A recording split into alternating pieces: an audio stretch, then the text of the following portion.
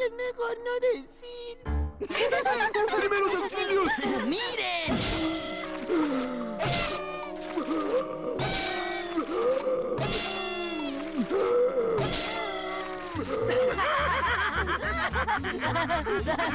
¿Estás con nosotros, Jimmy? ¡Detente! Dile que me sueltes, Sara. ¡Eh! ¡Eres un enorme estúpido! Fue fabuloso, ¿no es cierto, Rolf? ¡Cielos! ¡Gracias, Kevin! Ups, quise decir que fue fabuloso para un niño de un año. Idiota.